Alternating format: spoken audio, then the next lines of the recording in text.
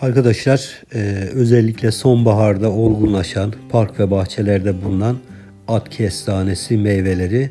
At kestanesi bir ağaç ve bu ağacın kestane benzeri meyveleri bulunuyor. Bu meyveler kesinlikle yenmez. E, yendiği takdirde insanlarda birçok sıkıntılara, zehirlenmelere sebep olabilir. Ama bunun dışında haricen kullanılma özelliği var. At kestanesi meyveleri dalındayken taze toplanmalı, e, kurutulmamalı. Kurutulduğunda sert bir yapı alır ve özelliğini kaybeder.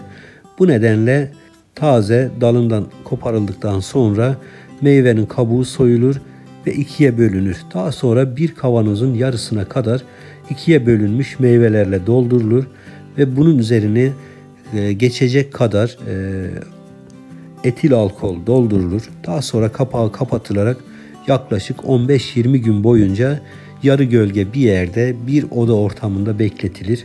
Bu süre içerisinde jel kıvamına gelecektir ve bu jeli diz ağrılarınızı e, gidermede kullanabilirsiniz. E, aynı zamanda eklem ağrısı, romatizmal ağrılar ve dizde meydana gelen her türlü ağrılara karşı e, at kestanesi alkol karışımını kullanabilirsiniz.